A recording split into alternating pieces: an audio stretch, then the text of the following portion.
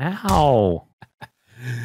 That shit's always funny. Why? Why is that funny, huh? You're just a bully. All right, class. Everyone point at him and say, he's a bully. You see that right now? He's bullying. But what do we say to bullies? We say no. We ignore and we say no because violence is not the answer. he just went through the ground. he died with his finger still in the air. Mem the owl survives third degree burns and he plans his revenge the rest of his life. He trains in the mountains.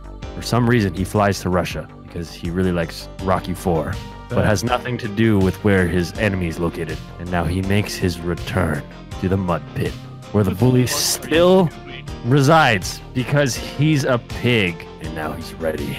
But this time, he knows that violence is the answer. I challenge you to a fist fight.